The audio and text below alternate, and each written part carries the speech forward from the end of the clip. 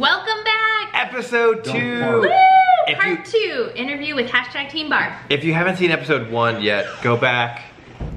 We'll have it That's, linked. that's Iris. She's about to knock the camera off. We'll have it linked below. We'll also have it in the iCard up here. So go watch part one before you watch this. Episode two of Barb.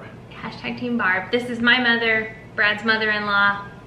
The kids are in bed. What was your first job? Betty and I were hostesses at a golden buffet. buffet type thing, but it it was uh, a restaurant down in North Kansas City, and there was all these different rooms, and so we had to just run around and find empty tables and come back. And That was your first job. it what was your We were probably like 14 then. favorite job?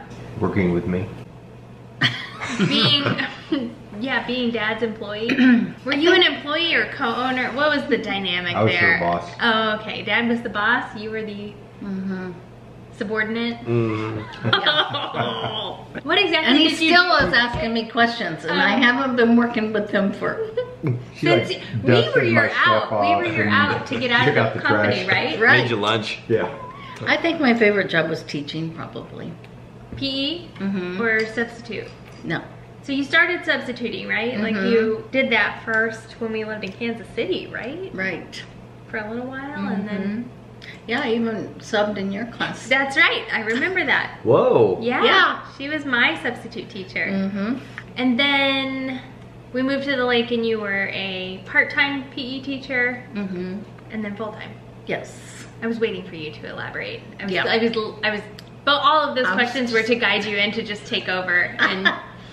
I'll tell your story. So she right. substitute taught in Kansas City, and then we moved to the Lake of the Ozarks.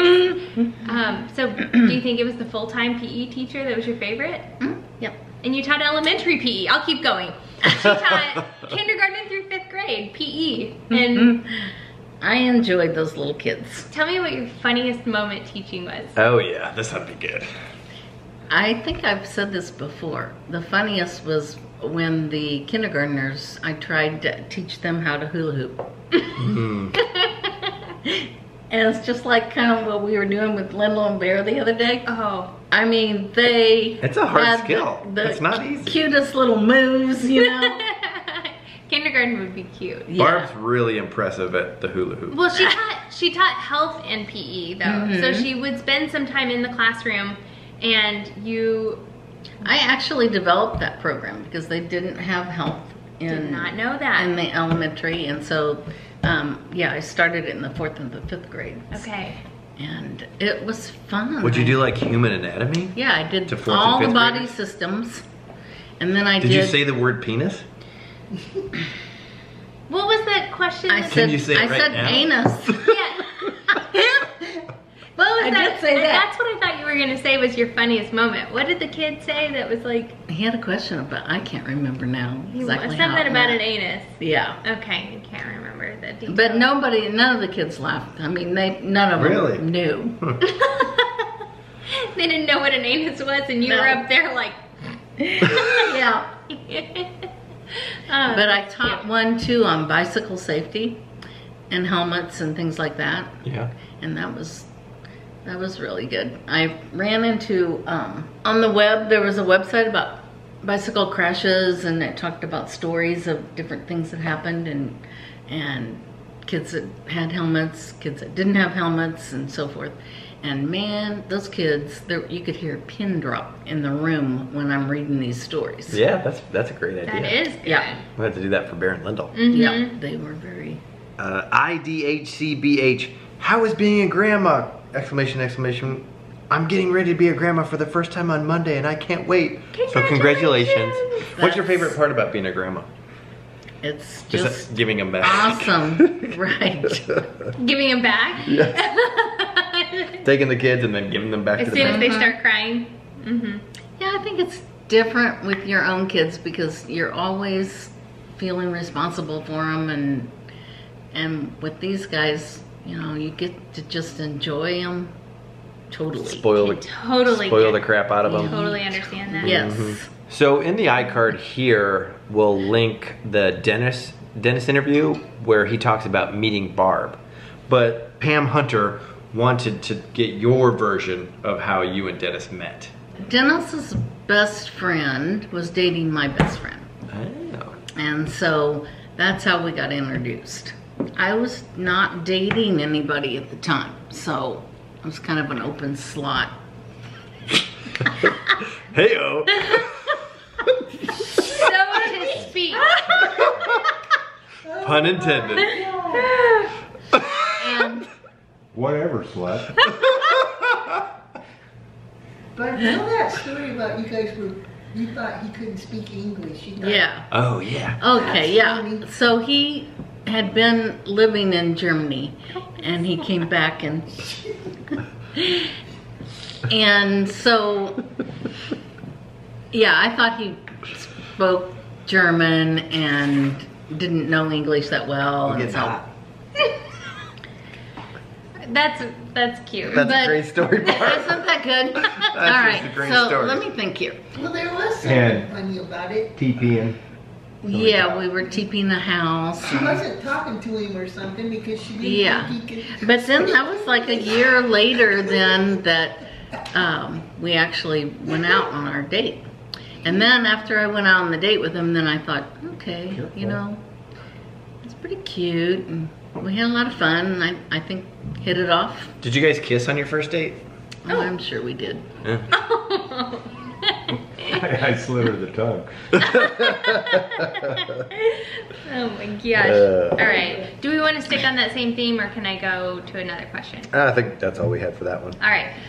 Did you always have the name Rachel picked out? If not, what other names did you have picked out, whether she was a girl or a boy? I don't think I had it picked out for a long time. Annie was named after both of our mothers. Mm-hmm. And so I didn't really have anything for you, but I always liked Elizabeth. Mm-hmm. So I knew I wanted to have that. And of course, my aunt was Elizabeth. Elizabeth is strong in our family, Mhm. which we have carried on.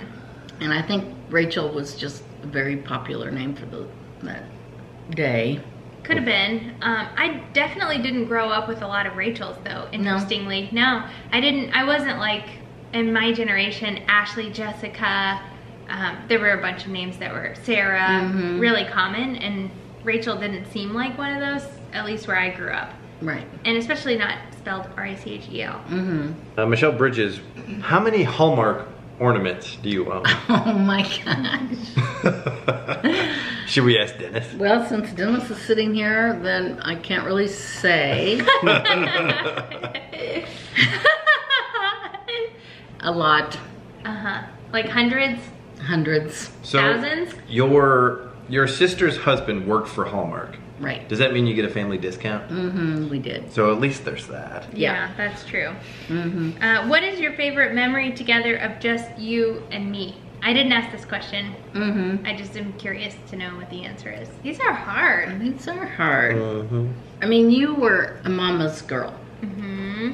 I think the the favorite kind of time of our life was when we used to ride back and forth to school together hmm because we were in the car for like 45 minutes I feel like that back was and forth the every most day. dynamic part of our Mhm. relationship.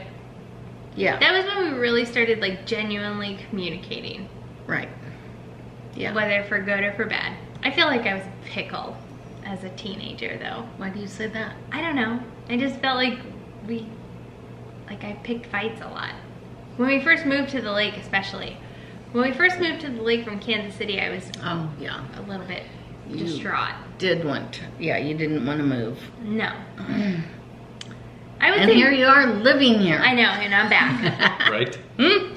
I think my favorite time or moment was when I had a relationship that was into all the way into an engagement that ended up being broken off and Yes. you like the within hours of that Mhm. engagement being broken off you were in St. Louis with me me and you were drinking wine Yes, we that were was fun. shopping we were going to Yeah. dinner together Yes. drinking wine just like Mm-hmm. you were there Sounds like Sex at and the City. drop of a hat like my best friend through Yes. that whole Mhm, ordeal right. and that was Yeah, that was fun. hmm Court wants to know who your favorite Peloton instructor is. I think I'm gonna have to say Christine now. I love Christine I do too. I mean, well, her or Ally, because not Denis Yeah, what happened to Denis? I still like Denis. Is it the hair? is Not it her because husband. he cut his hair. No, He doesn't have long hair anymore. I just like the support and the what Christine, their encouragement, and and Ally and Ally on Sundays. You don't feel like Ally has a little bit too much fluff when Christine is like I like she Christine doesn't a fluff lot. it. She seems genuine. She is genuine, I, and I I love Jess King. I love Jess King too. What I like about Christine too, though, is you know she wanted to be a ballerina, and she couldn't be a ballerina because of her body. Uh huh. And then she found bicycling and Yeah, that's interesting. won races, and Mm-hmm. And then that hands on your back story. Mm-hmm. Oh my goodness, that I mean, I I was gonna do a sermon, which I don't have to do now. Oh, you don't? Kristen wants to know in what ways do you see yourself mirrored in Rachel's mothering style? Where are you finding these Hmm? questions? They're on Instagram. Follow at Brad and Rach. Seriously? Rachel is very um, on top of the kids, like watches them like a hawk, and I did that. Too. Oh, a helicopter mom. Yeah, pretty much. But you have to, Brad.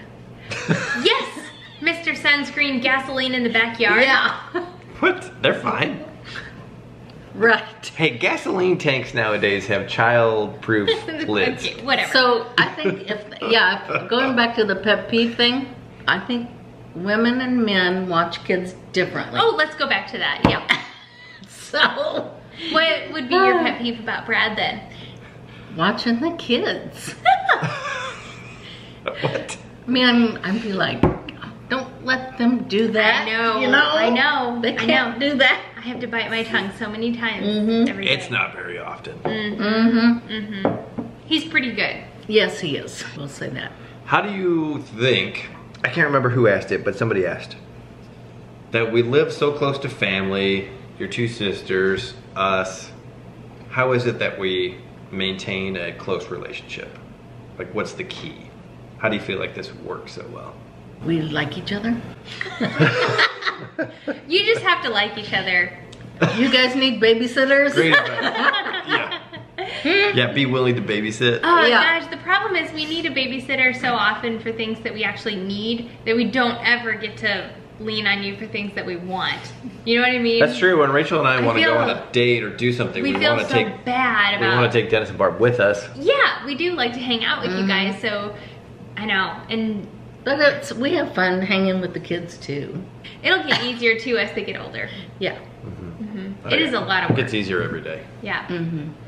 Well, All should we wrap things that was great. Yeah. So we're gonna bring Dennis Two and plates. Aunt Lala in at some point.